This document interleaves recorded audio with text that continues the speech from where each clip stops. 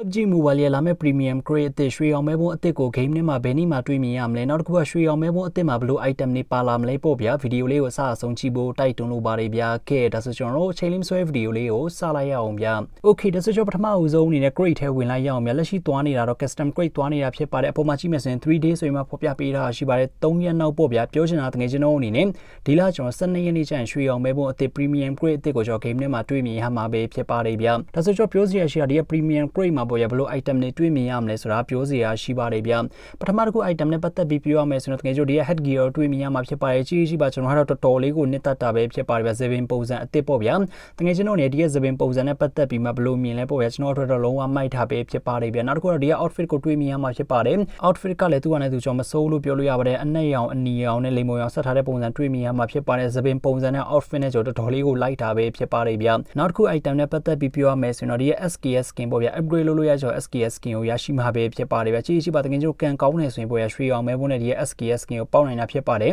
ဒါကြောင့် upgrade လုပ်လို့ရတဲ့ SKS skin ပဲဖြစ်ပါတယ်တကယ်ချင်းအားလုံးပဲသိတဲ့ PUBG Mobile မှာကြည့်မယ်ဆိုရင်နောက်ပိုင်းပေါ့ဗျာ upgrade လုပ်ရတဲ့ skin တွေပါထည့်ပေးတာမျိုးရှိပါတယ်ဗျာတကယ်ချင်းတို့အနေနဲ့ဒီဆို skin တွေပေါ့ဗျာဘယ်နှခါတော့ပေါက်ဖူးလဲပေါ့ဗျာတနက် skin တွေပါလေဆိုပေါက်ဖူးလာဒီ premium grade မှာ comment မှာမျှဝေပေးသွားလို့ရပါတယ်ဗျာကြည့်ကြည့်ပါတွေ့ကြော kill message ကလည်းလုံးဝကိုကြောလမ်းတာပဲဖြစ်ပါတယ်ဗျာအဓိကတော့ကြောကန်လိုတာဖြစ်ပါတယ်ရွှေအောင်ပုံများများလဲကြောလိုတာပဲဖြစ်ပါတယ်သူရဲ့ grade ကတော့ကြောဒီလိုနေထားတွေ့မြင်ရမှာဖြစ်ပါတယ်နောက်တစ်ခုကတော့ကြောဒီရဲ့ SKS skin မှာအသုံးပြုလို့ရမယ်ပေါ့ဗျာဒီရဲ့ကြော attachment skin တွေပါတယ်တွေးမိဟမှာပဲဖြစ်ပါတယ်ဗျာ attachment skin တွေလည်းသူ့ဟာနဲ့သူပဲဖြစ်ပါတယ်အလောက်ချီကြောမိုက်တာမျိုးတော့မရှိပါဗျာနောက်တစ်ခုကတော့ဒီ head gear တွေးမိရမှာဖြစ်ပါတယ် level 1ကလည်းကြောမစိုးပါဘူး level 2ကိုချီရမယ်ဆိုရင်မစိုးလို့ပြောလို့ရပါတယ် level 3ကတော့ကြောမိုက်တာပဲဖြစ်ပါတယ်ဗျာ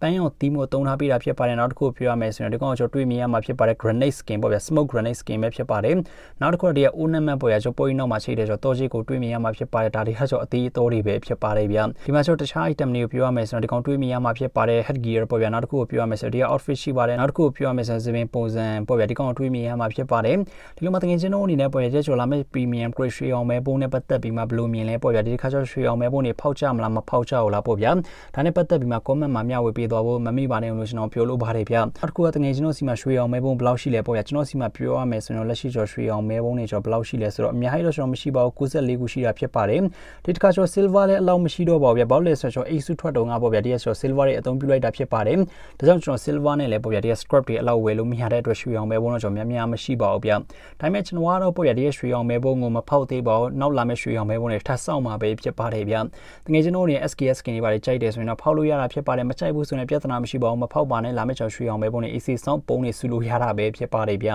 Okay ဒါဆိုကျွန်တော်လက်ရှိဒီဗီဒီယိုလေးကတော့ဒီလောက်ပါပဲဗျာတကယ်ချင်းအားလုံးအနေနဲ့ဒီဗီဒီယိုလေးကိုနှစ်သက်မယ်လို့လည်းကျွန်တော်မျှော်လင့်ပါတယ်ဗျာခုလိုဗီဒီယိုကြည့်ရှုပေးတဲ့တကယ်ချင်းအားလုံးကိုလည်းကျွန်တော်အထူးပင်ကျေးဇူးတင်ရှိပါတယ်ဗျာ